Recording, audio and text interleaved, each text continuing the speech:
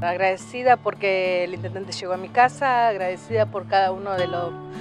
visitantes, las manzaneras, las beneficiarias que vinieron no solo a escuchar qué es lo que es el programa, sino vinieron a, hablar sobre la necesidad que tenemos como valerense. Hay que estar unidos, estar juntos y estar en, la, estar en los zapatos de cada uno, estar en los zapatos de cada valerense, estar en los zapatos de cada ciudadano para poder seguir adelante, porque es una necesidad grande. Escuché al intendente y la verdad las palabras, me gustó que haya venido y haya estado representándose como uno mismo, como una persona que se preocupa.